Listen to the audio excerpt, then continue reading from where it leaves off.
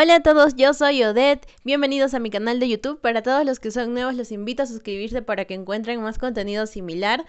Y bueno, espero que este video les guste mucho y lo puedan compartir con todos sus amigos. Bueno, primero que nada voy a empezar contándoles de qué se trata este video porque es un poquito diferente. De hecho tiene dos partes y para que puedan ver la siguiente parte o la segunda parte o la parte complementaria como ustedes le quieran decir, van a tener que ir a la descripción de este video y ponen en el link que dice segunda parte con colaboración de Medical Notes, ya que hemos hecho este video en colaboración con otra creadora de contenido que se llama Allison.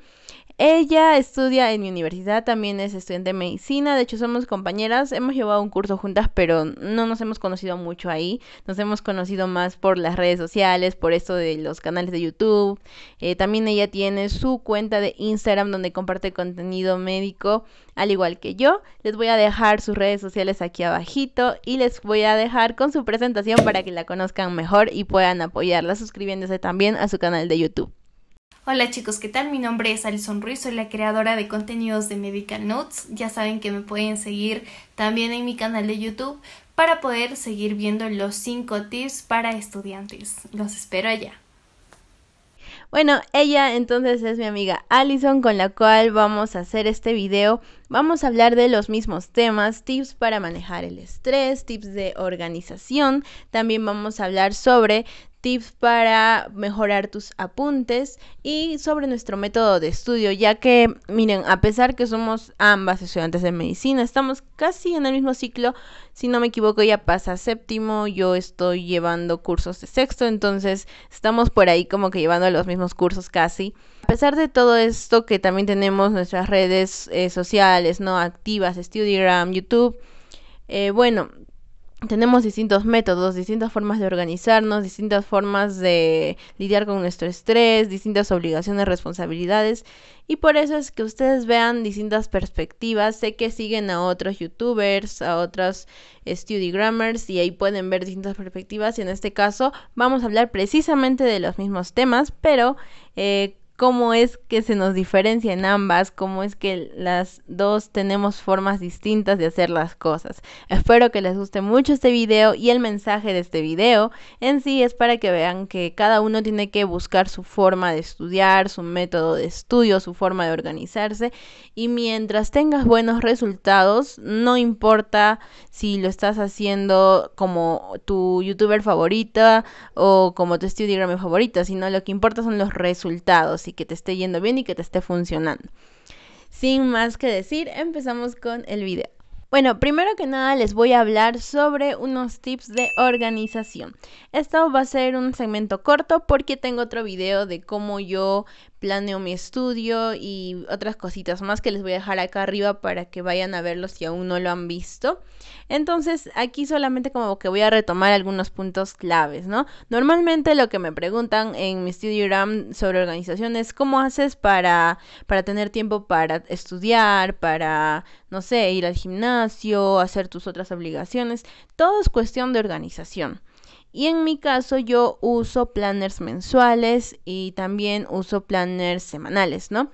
Pero eh, al principio yo empecé usando planners diarios, mensuales, semanales y era mucho, o sea, me llené de muchos planners y en realidad solo me di cuenta que necesitaba hacer planners semanales y mensuales.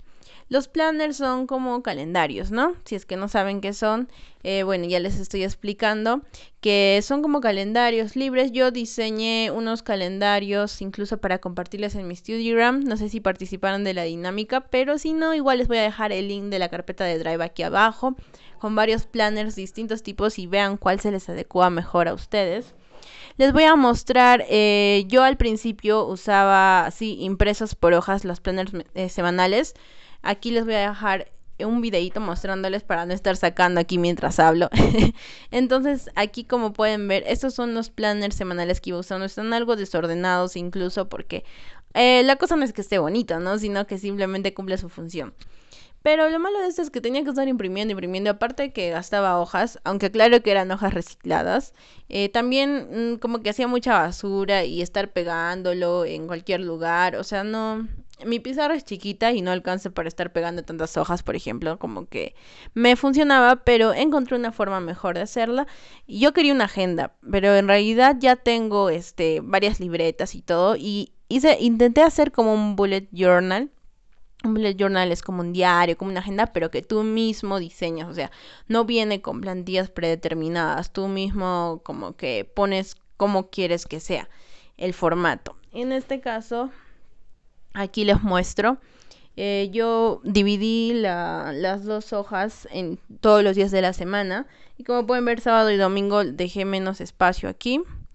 Entonces, en este caso yo decoraba, ¿no? Cuando estaba un poco inspirada lo hacía bonito.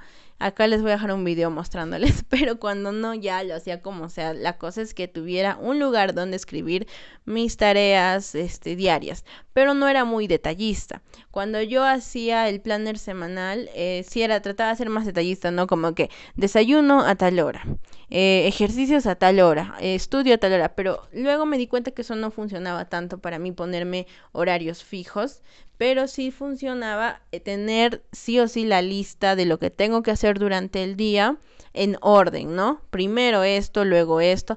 Y yo creo que era un poco mm, tonto o inútil poner, ¿no? Desayuno, porque es obvio que voy a desayunar, o sea, ya es una tarea que está grabada. Tenía que poner eh, para ahorrar espacio y para no agobiarme con tanto con tanta planeación y tanto tiempo planeando entonces este lo que hacía era simplemente las tareas principales y que no debía olvidar. Por ejemplo que no sé hoy día tenía que ir a recoger algo o, enviar un trabajo no específico ahí sí tenía que anotarlo. Y esa es básicamente como eh, es la manera que me organizo ahora en los planners mensuales, lo que estuve haciendo, acá les voy a dejar algunos modelos de planners mensuales que van a encontrar en la carpeta de Drive que les estoy dejando abajo. En los planners mensuales, simplemente, mm, primero que nada, yo los diseñé y me gusta que no tenga los números de los días ya fijos, sino eh, circulitos para poner los números. Eso también está en mi video que les dejé acá arriba para que vayan a verlo, cómo planeo mi mes y todo eso. Entonces, esto rápidamente les explico, no solamente ponía fechas importantes, digamos, tal día tengo un examen, entonces no me puedo olvidar y ya. ¿Y por qué? En la agenda y también el planner, porque como que el planner resumía todo mi mes, entonces ya podía planear mejor mis semanas en mi agenda o bullet journal o libreta, lo que como quieran llamarle. Entonces, el planner mensual lo que hacía es ponerlo en mi pizarra y tenía una visión ya clara de todo el mes, qué eventos importantes tengo o con colores, ¿no? Con rojo ponía, por ejemplo, mis exámenes o si tenía algún fast test o una exposición.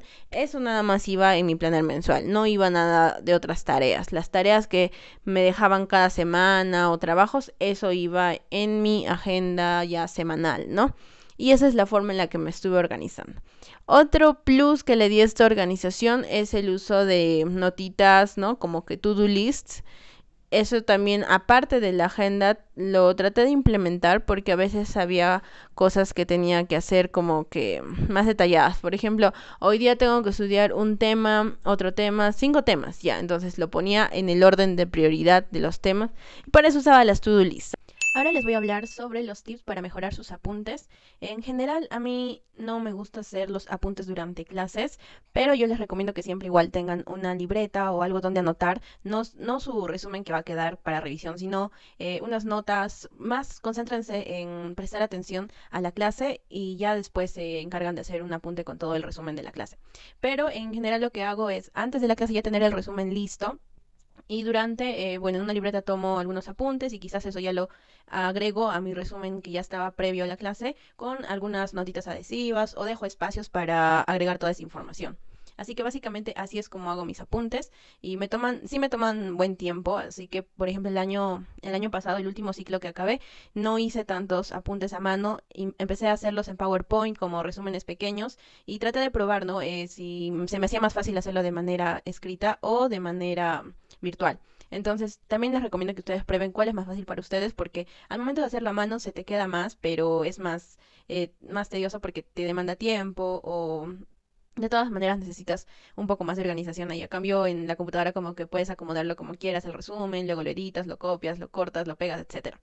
Y bueno, en la estructura de mis resúmenes ya la conocen un poco porque en anteriores videos les he mostrado. Y pues lo que normalmente recomiendo es hacer un título grande, llamativo, para que se diferencien los temas. En este caso, por ejemplo, el título es grande, no es la gran cosa. Mis títulos no son tan decorados, ¿no? Pero sí son grandes. Me gusta poner imágenes. Y con respecto a eso, el tip que les doy es que usen las imágenes de su clase, o sea, las imágenes que usan sus docentes al enseñarles sus diapositivas. Agarren esas imágenes para incluirlas en sus apuntes. Y ya pueden usar extra también otras imágenes de los libros, pero básense en los gráficos y esquemas que les dan sus docentes para que tengan una mejor idea, ya que normalmente las repiten para, para los exámenes. Y ese sería el tip en cuanto a sus apuntes. La recomendación que les puedo dar en cuanto a esto de los apuntes es que la decoración, el color y todo esto lo dejen para el final. Es más, lo pueden usar eh, como una forma de relajarse si es que les gusta decorar y pintar y hacer dibujitos, ya que al momento de buscar la información e intentar hacer un resumen de eso, concéntrense más en esa información en el texto que, o sea, en, en ponerlo en sus propias palabras y de una manera muy entendible que en decorar, porque eso es solamente para llamar su atención y poder estudiar ese resumen, pero no es, no les va a brindar mayor información o mayor conocimiento en realidad. Así que eso déjenlo para después y no, no se tomen mucho tiempo en eso. Por ejemplo, si están de vacaciones, eh, ya ahí pueden dedicarse a decorar sus resúmenes con más detalle y para que lo tengan bonito, si es que les gusta hacer eso de los apuntes bonitos. Pero si no, es simplemente un formato general para todo y eso sí, usen colores. A pesar que no les guste decorar tanto los apuntes, les recomiendo que usen colores para que no, eh, no se vea todo blanco y negro, porque eso tampoco es nada llamativo para estudiar y que no sea puro texto. Si quieren saber más eh, eh, sobre mis apuntes y cómo los hago, les invito a ver otro de mis videos que les voy a dejar acá arriba el link, donde hablo más a detalle de eso. Pasamos a la siguiente parte del video donde les voy a hablar un poco sobre cómo es mi forma de estudiar, mi método de estudio y lo puedan comparar con el del video de Medical Notes donde ella aplica unas formas diferentes de hacerlo. En mi caso me gusta usar bastante las flashcards y es lo que me he enfocado a hacer el año pasado más que nada. Y sí lo he mostrado en mis anteriores videos también, pero bueno, eh, para que entren más en detalle en eso pueden ver los otros videos donde les muestro cómo hago las flashcards y cómo en qué, en qué fichas incluso hago, cómo las guardo. Aquí es donde tengo los sobrecitos con las flashcards de fisiología. Y también empecé a usar este, bancos de preguntas. Es como que lo hice en diapositivas y lo imprimí así como si fueran en tarjetas pequeñas.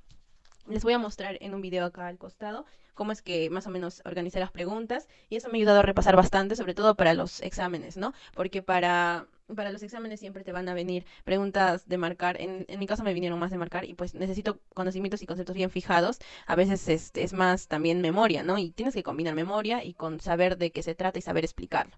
Así que yo lo que uso más es el Active Recall. Si quieren más información de eso, les invito a que me sigan en mi Studigram, donde tengo reels sobre cómo aplicar el Active Recall en distintos métodos de estudio, porque no tengo un método concreto en sí, es como que combino y veo cuál me funciona mejor. Aún estoy en búsqueda de cuál es el mejor para mí. Pero esto es lo que estoy usando más, el Active Recall, con bancos de preguntas, flashcards y a veces también trato de usar mi pizarra para explicar los temas a mí misma o a alguien. Entonces así me, me, ayuda a aprender más cuando se trata de un curso que tienes que explicar más que nada. Por ejemplo, anatomía es más descriptivo, ahí no hay muchos procesos que explicar, pero fisiología sí eh, me hacía bastante falta aplicar este método. En la siguiente y última parte del video eh, vamos a hablar un poco sobre los tips para manejar el estrés, que durante la carrera es casi inevitable no estar expuesto a bastante presión, estrés, ya que más que nada todo esto viene desde la desorganización, cuando no organizamos bien nuestro tiempo es cuando nos llenamos de muchas tareas y no sabemos cómo lidiar con eso. A mí me ha pasado y me sigue pasando.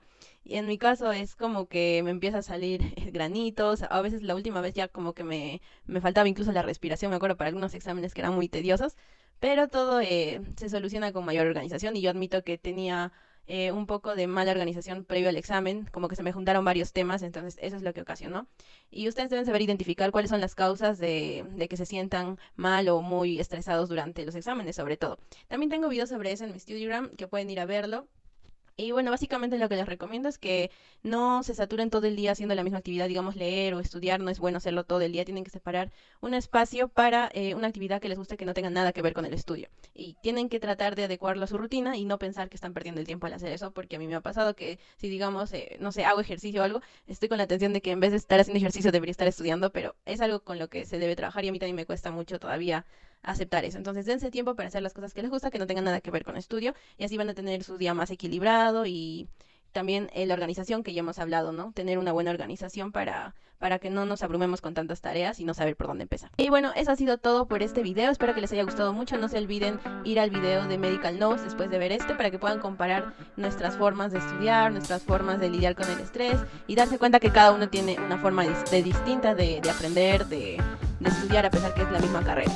Les voy a dejar el link acá abajo y espero que también puedan compartir este video para que muchas otras personas lo puedan ver.